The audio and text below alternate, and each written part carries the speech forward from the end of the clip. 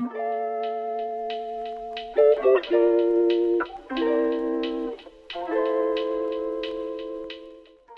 we'll be unboxing and taking a look at the Wacker-Neuson PSA2 500 2-inch submersible pump.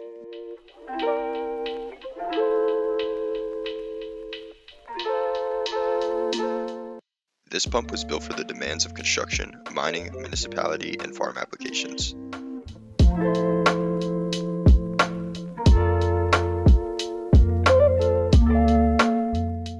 Inside is a 2 thirds HP motor and a 32 inch cord in which you can plug straight into the wall outlet.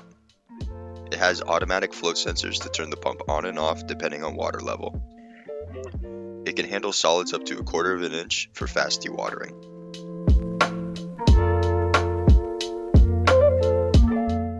This is everything that comes included in the box. Thank you so much for watching. You can find this pump along with other OEM parts over on our website, gciron.com.